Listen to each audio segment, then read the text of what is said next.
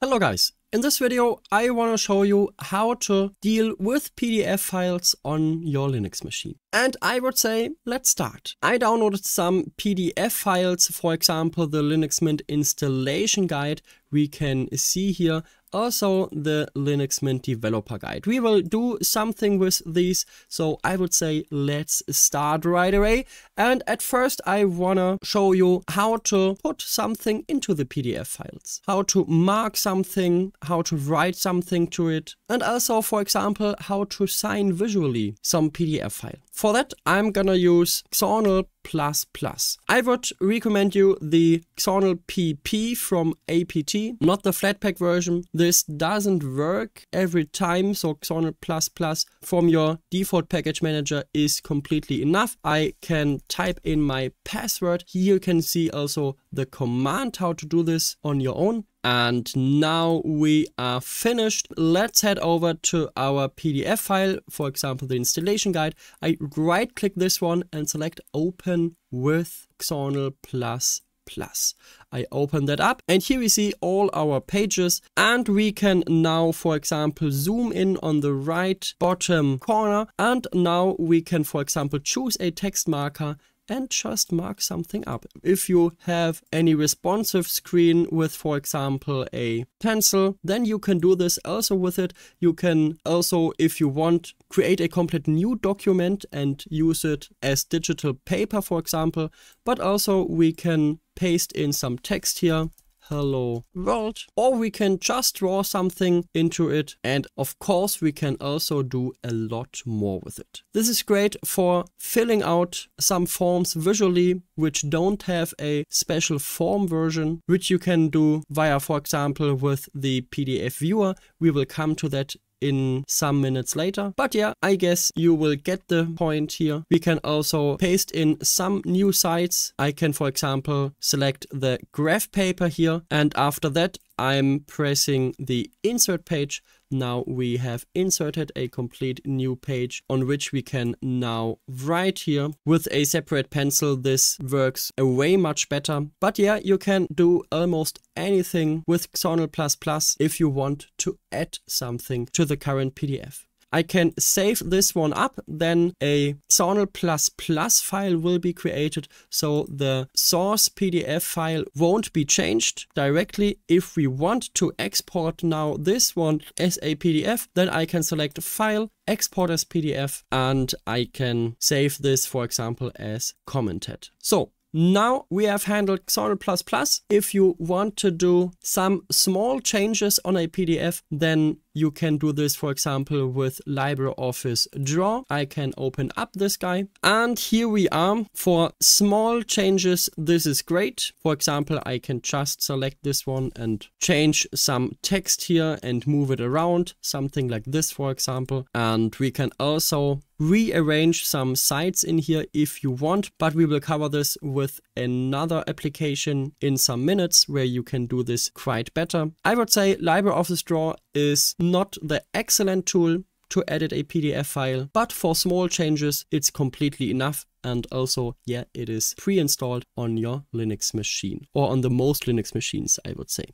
Yeah, so if we want to export this again, we can just choose export directly as PDF. I can give it a new name and perfect this is now exported so I don't need to save this in a LibreOffice draw file and yeah this is quite cool so Let's head over to another point. If we want to rearrange some PDF files, if we want to merge some PDF files together, then another very handy tool comes on site. This is called PDF Arranger. You can install it, for example, via Linux Assistant or your software manager. I installed the version from the package manager, not the Flatpak, but yeah, you can also choose the Flatpak, I guess.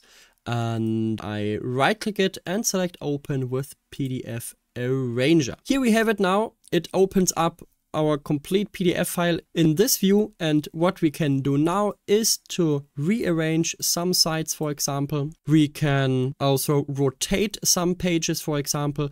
We can also insert a blank page with a specific size. Yep, it got pasted on the end, but yeah, we can move it around. We can also select multiple sites and move them all around. And also we can do such funny things like, for example, split pages and then we can for example do a horizontal split for example. We can also choose the height in percent. I select ok and now yeah we have cut the side in half and have a additional side for example. Yeah we can also add some more pdf documents to this project we can choose this one, open a file and append it to the current document.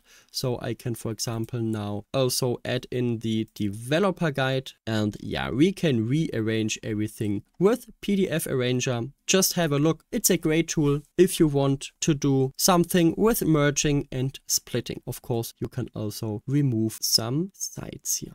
Okay, now we can save this changed file on this icon here. And now we can define a new name and save this as a new PDF. Also, some forms and outlines are lost on saving. This is okay for us in this case. So your table of contents won't work in the future with this changed PDF file, but this is completely okay for us. So I select OK and also I got some error message. Something has been discarded. This is okay for me. I select OK. And now we can see our new PDF A document with uh, all changes we already have done to it. For example, we changed the orientation of this page. Or let's see our two pages which were cut in half. Here we have them. It's just also very funny. but you get the point what you can do with PDF Arranger. So let's get to another point if you want to do more with a PDF file.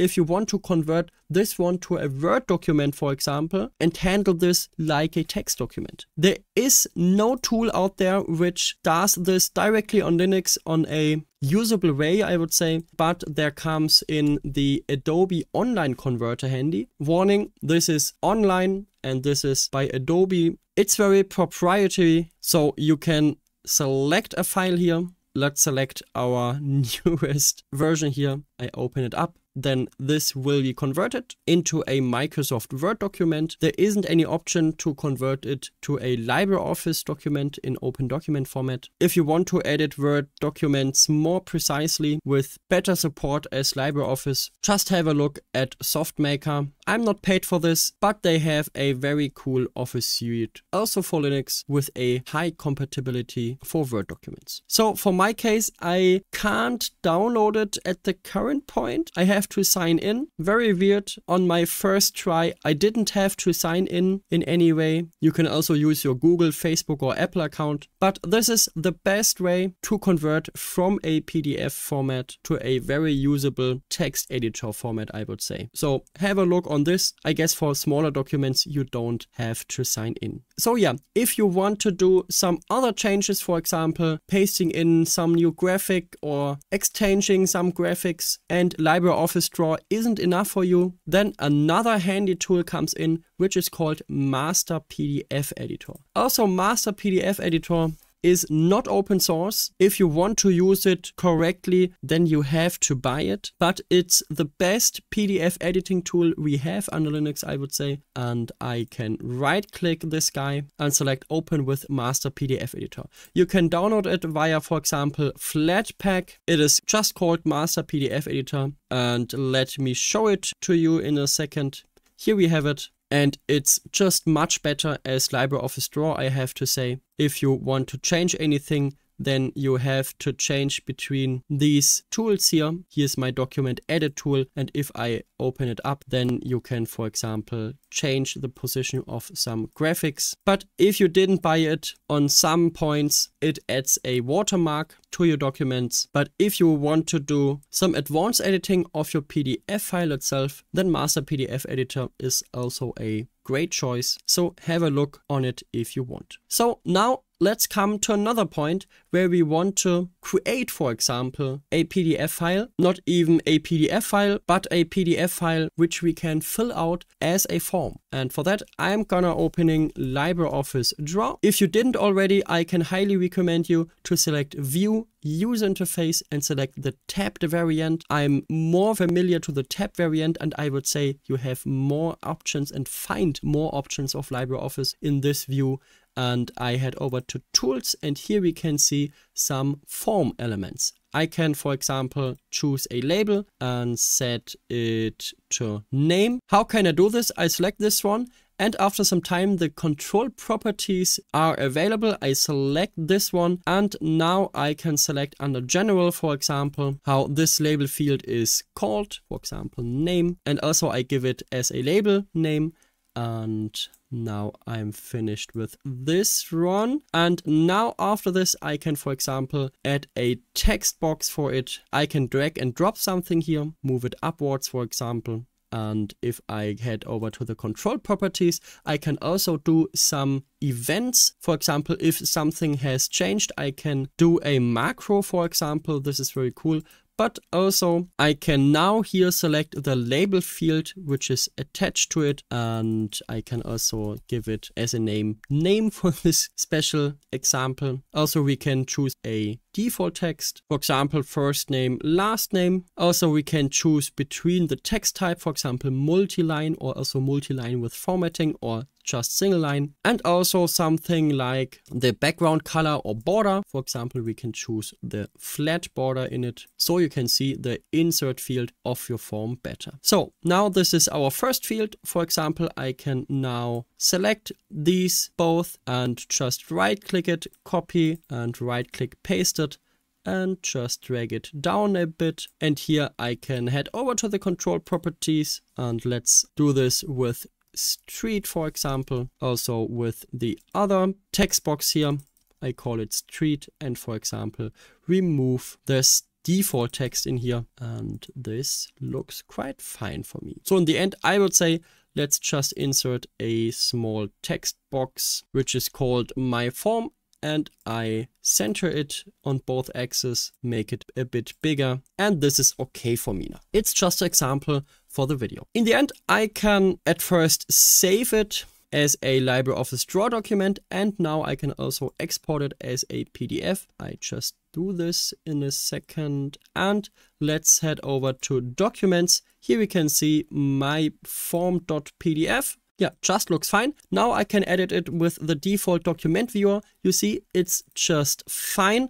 But if you want to do more complicated things, then I personally recommend you to do this with Chromium web browser. You can install it, for example, via the Linux assistant or the software manager here because Chrome web browser does this I would say a bit better and also has more functionality because some forms, for example, also have a button to send this form to a server, for example. So Chromium does it a lot better than the default document viewer on Linux Mint. So yeah, this was it for today in this video. I hope this video was helpful for you. You learned, for example, a new tool and now you got an overview what you can do with PDF documents on Linux, how to handle them in an easy manner. So if you found this video helpful, please leave a like and subscribe to this YouTube channel to get even more useful tips in the future. And also I want to ask you, have I missed something? Can you also recommend some other tools for Linux? If you want to do something with PDF files, just let it me know in the comment section